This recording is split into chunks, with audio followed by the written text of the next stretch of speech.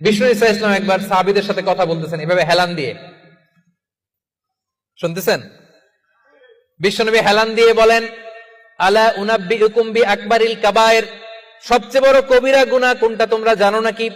সাহাবারা বললেন, আপনি সব চাইতে ভালো জানেন ইয়া আল্লাহ আপনি বলেন। বিশ্বনবী বললেন সব চাইতে বড় কবিরা গুনাহ আল্লাহর সাথে শির করা।